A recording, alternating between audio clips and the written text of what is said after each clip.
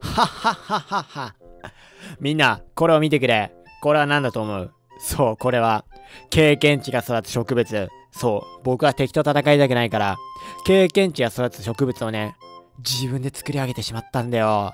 やはり天才かもしれないな。では早速、僕の実験の成果、手に入れていこう。経験値大量ゲットだぜ。よっしゃー経験値大量だーあ、ちょっと待って、痛い痛い痛い待って。痛い痛い、経験値って痛いの？経験値手入れて痛い痛い痛い痛いはい。というわけで、どうも皆さん、こんにちは、ピクトです。というわけで、今回もモッド紹介頑張っていきましょうってことで、まあね、今回紹介するモッドはですね、はい、えー、経験値がね、育つモッドとなっております。はい。あの、英語の名前がね、ちょっと長くて忘れちゃったんですけど、最近、モッドの名前忘れる確率高えな。ってことで、このモッドを導入するとですね、えー、っと、あの、アイテムをね、追加することができます。まず、作業台。作業台のとこに真ん中、種を置きます。そしてね、金インゴットで囲むと、できました。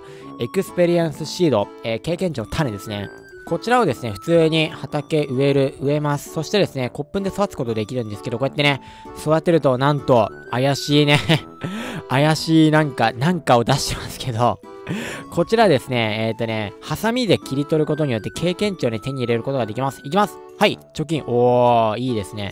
まあ、こんな感じでね、ハサミで取ることによって経験値を、えー、得ることができます。ちなみにですね、この植物、あの、普通に壊してもね、経験値手に入れることができます。ちょ、今、クリエイティブだった。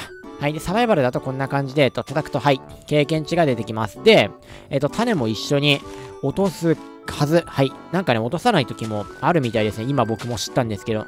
てっきり全部落とすもんだと思ったけど、なんか普通に、ハサミで取った場合は、まあ、後で後々育つんですけど、普通に壊した場合は種が絶対出るってわけではないんですね。これはちょっとめんどくさいですね。はい。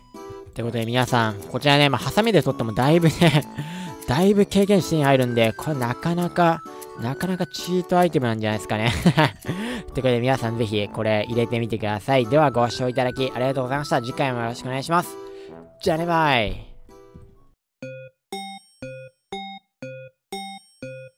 最後までご視聴いただきありがとうございます。ぜひチャンネル登録、高評価、よろしくお願いします。